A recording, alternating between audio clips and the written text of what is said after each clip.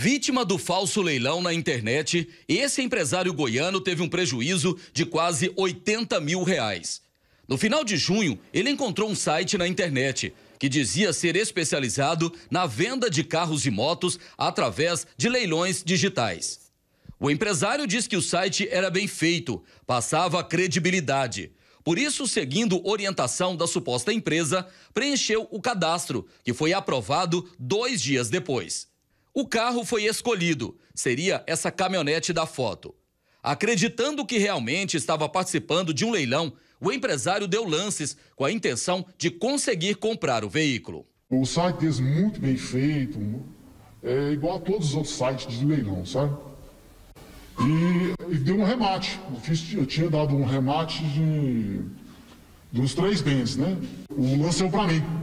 Eles pediram fazer o pagamento. Eu tinha ganhado um leilão, as mensagens enviadas pela suposta empresa de leilão informava o dia de encerramento do leilão. Falava que era a oportunidade de realizar o sonho do carro próprio. E para justificar o preço abaixo do mercado, ainda informava que os veículos eram recuperados por financeiras. O IPVA estava pago e seriam entregues livres de multas e débitos anteriores. Nas mensagens constavam telefones e o site da suposta empresa de leilão. Essa outra mensagem foi enviada avisando que faltava menos de uma hora para encerrar o leilão virtual. Os criminosos fizeram quase tudo o que normalmente uma empresa de leilão virtual faz. O empresário acabou arrematando a caminhonete por R$ 74.400. No mercado, uma caminhonete do modelo escolhido pelo empresário não sai por menos de 150 mil reais. Os golpistas até parabenizaram o empresário ao informar que o lance dele tinha sido vencedor. Os criminosos encaminharam as instruções de pagamento e até o termo de arrematação, onde constam o valor do veículo, a comissão do leiloeiro e o valor do frete. Nos documentos, a de Roma Leilão informa que a empresa fica em Hortolândia, interior de São Paulo. No total, o empresário pagou R$ 78.940. O pagamento foi feito através de uma transferência bancária no dia 2 de julho. No comprovante, aparece o nome da empresa de Roma Leilão. De acordo com o empresário, a de Roma Leilão prometeu entregar a caminhonete em Goiânia, mas sempre que cobrava, os supostos funcionários da empresa davam uma desculpa. Dias depois, o empresário percebeu que tinha caído em um golpe. E eu conversando com o pessoal. Né? Quando eu fiz pagamento no dia 2, aí eu conversei com eles no dia 2, no dia 3, no dia 4, no dia 5, no dia 6, eu perguntando sobre o carro tal, quando vai chegar, e eu, não, tá che... vai sair, saiu é, no dia 6, foi o último dia que eu conversei com ele. No dia 4, eu perguntei para a moça, o veículo já tinha saído, já tinha dois dias, né? Estava na estrada, queria fazer outras entregas. Aí quando foi no dia 6, era por volta de 3 horas da tarde, eu perguntei à moça, que eu tinha falado com ela mais cedo, né? No WhatsApp. Eles tinham me ligado no telefone, né? Eu liguei para eles também no fixo. Eles têm três telefones fixos e um celular, né? Um WhatsApp. Até então, beleza, conversando normal. Quando foi no dia 6, por volta de 3 horas da tarde, eles. Eu perguntei, eu queria o, o rastreamento do caminhão, do, do frete, né? O, rastrear o frete. Aí ela não falou mais comigo. Aí de repente sumiu tudo. O telefone celular não falou mais e nem os três telefones fixos. Além do empresário, um funcionário da empresa dele também foi vítima do mesmo golpe. No caso do vendedor, a suposta empresa de leilão foi a Reiscar Leilões, que seria da cidade de Franca, também interior de São Paulo. Revoltado e com vergonha por ter sido vítima do golpe, o vendedor conta que sempre sonhou com uma moto potente. Juntou dinheiro durante cinco anos, mas não era suficiente para comprar a moto que ele queria. Quando viu o site da suposta empresa de leilão, o vendedor fez o cadastro e deu lance. A moto que eu gostei tava, tava lance de 11 e pouquinho, eu fui dando lance, né? Aí no valor X ficou 15 mil e. 15 mil e 15 reais. Aí vi a transferência, né? Ele disse que ia mandar o boleto, né? Aí ele mandou o boleto, aí nós pagou, pagou, né? Normal. Ele disse que no outro dia ia ver que tinha caído na conta e depois ia fazer o. É, mandar a moto. Mais ou menos ia chegar sexta-feira. No termo de arrematação emitida pelos golpistas, consta que a moto foi arrematada por R$ 13.500. Mas somando a comissão e despesas com frete, o vendedor teve que pagar R$ 15.015. Essas são fotos da moto divulgadas no site pelos golpistas. No mercado, a moto escolhida pelo vendedor não sai por menos de 25 mil reais. Para quitar o valor depositado para os golpistas, o vendedor retirou o dinheiro que guardava na poupança e até pegou parte emprestada com o patrão. O pagamento foi feito em nome da Reiscar Leilões. Mas a suposta empresa tentou aumentar o valor do golpe e apresentou uma cobrança extra. Isso fez o vendedor desconfiar que tinha caído num golpe. Falou que a base do valor não, não batia, que tinha que pagar mais 3.700 para bater o valor da moto. Disse que era condicional. Aí eu falei que eu não tinha condição, condição e, no caso, queria meu reembolso do dinheiro. Aí ele falou que daqui 30 dias ia mandar o, o retorno do valor. Só que aí eu falei que, como eu tinha depositado na hora, não tinha como aguardar esse tanto de tempo, que era para agilizar o processo. O rapaz, depois, no outro dia, já não deu mais nem sinal de vida. Aí eu tentei mandar como é que ficou, ele falou que ia passar pro financeiro e depois não deu mais notícia de nada. Tentei ligar lá e não consegui contato também. De acordo com a delegada Sabrina Leles, titular da Delegacia de Crimes Cibernéticos da Polícia Civil, esse tipo de golpe vem sendo investigado em Goiás desde 2018, quando a delegacia foi inaugurada. Além de criar sites falsos, se passando por empresas de leilões, os bandidos também estão criando sites falsos de órgãos públicos. Aqui, por exemplo, nós temos alguns casos em andamento que envolvem sites que usam o nome sites fraudulentos, que usam o nome de órgãos oficiais do Estado ou federais. Como, por exemplo, é, dois sites mais recentes que usam o nome do Detran, do Detran de Goiás. Um nós já conseguimos derrubar, o outro, como é um site de hospedagem dos Estados Unidos, eles estão com muita restrição de derrubada. Então, assim, nós ainda estamos trabalhando no cumprimento da ordem de derrubada dele. Esse tipo de golpe, segundo a delegada, não pode ser chamado de crime virtual, já que não teve furto de senha ou dados bancários. Tanto o empresário quanto o funcionário dele, mostrados na reportagem, foram vítimas de um estelionato.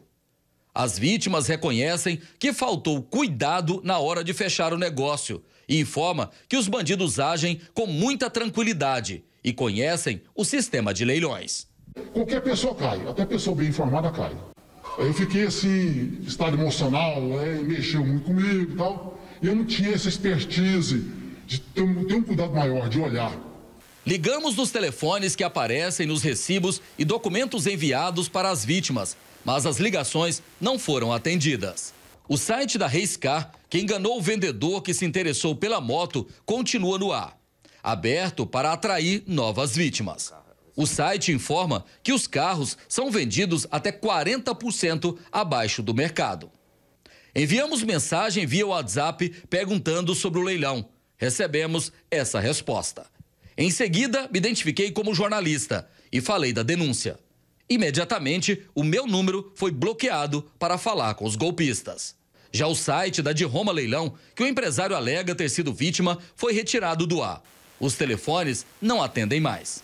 Um levantamento feito pela delegada Sabrina Leles mostra que as contas onde o dinheiro foi depositado pelo empresário e o funcionário dele são de São Paulo. E o pior, as contas foram abertas em nome de uma mulher que também foi vítima desse tipo de crime. Isso significa que as quadrilhas estão movimentando contas em bancos virtuais abertas em nome de pessoas que fizeram cadastros com a intenção de participar de leilões. Por exemplo, essa vítima, além de ter se tornado vítima de um estelionato, ela pode ter os dados dela utilizados para esquentar uma conta bancária ou um dado cadastral de um CNPJ para abrir uma próxima empresa que irá ser utilizada em outros golpes. Esse tipo de golpe vem crescendo tanto aqui no Brasil que as empresas sérias que trabalham com leilões através da internet até criaram uma associação. Desde que foi criada no ano passado, a Associação da Leiloaria Oficial do Brasil já identificou quase 900 empresas falsas de leilões que juntas teriam aplicado golpes em mais de 10 mil pessoas. De acordo com a associação que reúne os leiloeiros autorizados a trabalharem no Brasil, nos últimos três meses, por causa da pandemia, os golpes através da internet teriam aumentado cerca de 70%.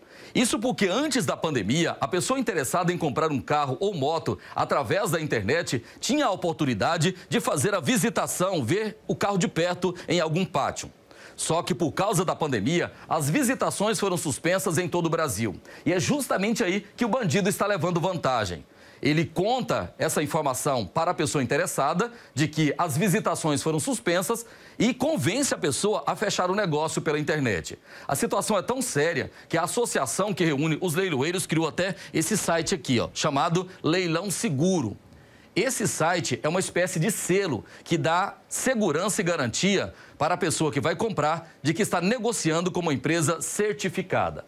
Então você pode, né, antes de fechar o negócio, antes de fazer o pagamento, vir nesse site aqui, leilãoseguro.org.br Aqui você vai ter uma lista né, com as empresas autorizadas, é leiloeiros certificados, as empresas que estão autorizadas a funcionarem normalmente. E aqui do lado tem sites falsos. Clicando aqui, você vai saber, olha, são quase 900 empresas que já foram denunciadas para a associação e também para os órgãos de defesa do consumidor e polícia em todo o Brasil.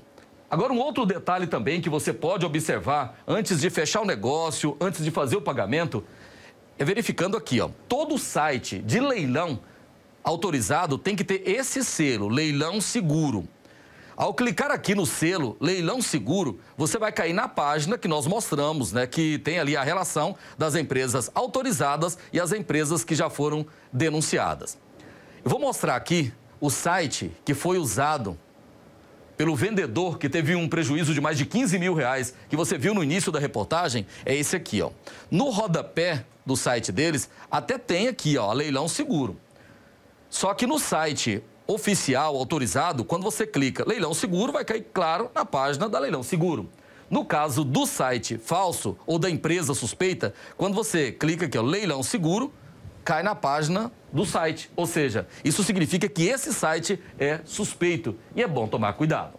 De acordo com a Associação dos Leiloeiros, todo site de leilão que termina com .com sem o BR é suspeito, porque seria hospedado em plataformas no exterior. Portanto, desconfie de sites que terminam com o .com. Observe se a página tem o cadeado na frente do endereço. Pesquise em redes sociais se tem reclamação contra a empresa. E, por fim, desconfie de carros e motos com preços muito abaixo do mercado. As contas indicadas são de pessoas físicas. Quando você lidar com um site de um órgão oficial, ou é emitida uma DARI ou uma DARF, que é o documento de arrecadação oficial do Estado ou federal da União, né? E mais, a dica principal de todas é, se o valor está muito abaixo do valor de mercado, desconfie. Nesse caso que você traz na matéria, a pessoa depositou cerca de 75, 78 mil, quase 79 mil reais. O valor de mercado desse carro que ele pretendia arrematar, eu acabei de conferir agora, está atualizado o valor de mercado é em torno de 150 mil reais. E a pessoa encontra um site ofertando carro com todas as características por 80 mil reais o valor total, menos da, assim, ou quase a metade do preço do valor de mercado, a pessoa tem que desconfiar. Para quem foi vítima das quadrilhas especializadas no golpe do leilão, fica a lição e a certeza de que dificilmente vão conseguir recuperar o valor pago aos bandidos. E eu quero deixar assim, para as pessoas tomar muito cuidado com isso. Pesquisar direitinho, não tem pressa de onde fazer o pagamento. Eu espero que eu venha receber. A minha, né, a, a minha, minha vontade é receber o meu dinheiro, né? Todo, total. Sinto triste, né, por perder tanto dinheiro assim, né? Sinto iludido também, né? Porque juntei tanto dinheiro para realizar um sonho, né? E praticamente está perdido, né? Agora só Deus para tentar ajudar, né? Como é que faz para eu conseguir esse dia de volta?